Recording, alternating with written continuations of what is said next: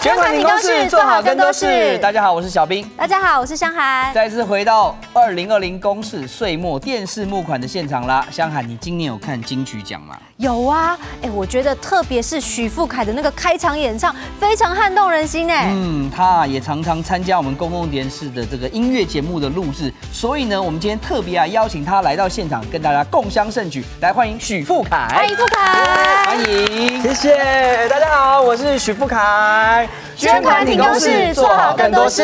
哦，傅凯刚刚发了新专辑嘛，对不对？听说你今年还演出了歌子戏 啊，哦，表现非常的亮眼。谢谢。而且呢，那个我们都知道，公共电视啊，除了这个戏剧节目很厉害之外，嗯，我们的音乐类型的节目，像《音乐万万岁》是，也都是非常高规格制作的。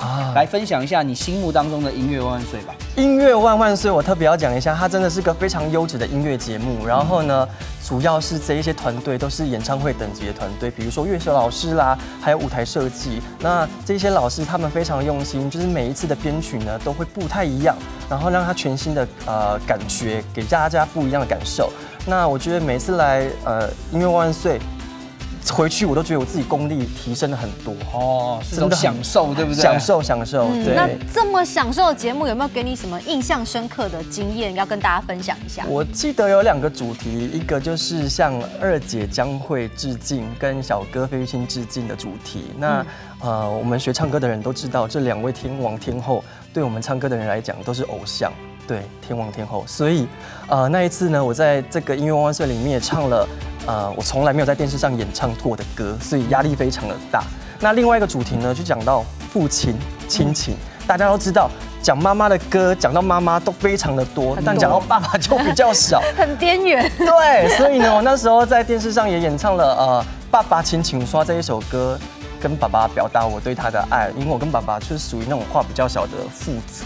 哦，能够用歌声传达情感是最棒的一件事啊，对不对？那我想呢，二零二零啊，对许多人来讲是比较辛苦的一年，因为疫情的关系嘛。那正好，既然傅凯来到现场，是，我们就请傅凯用他温暖嘹亮的歌声，然后送一点点温暖的祝福给我们的观众朋友。好啊，刚好呢，我这张十歌专辑里头有翻唱二杰的《祝福》这一首歌，那我就来献唱一下。好。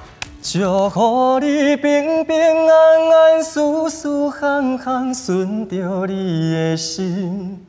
爱你的人在身边照顾你，祝福我平平静静一人踮在秋雨的塘边。若是寂寞的时会当不想你。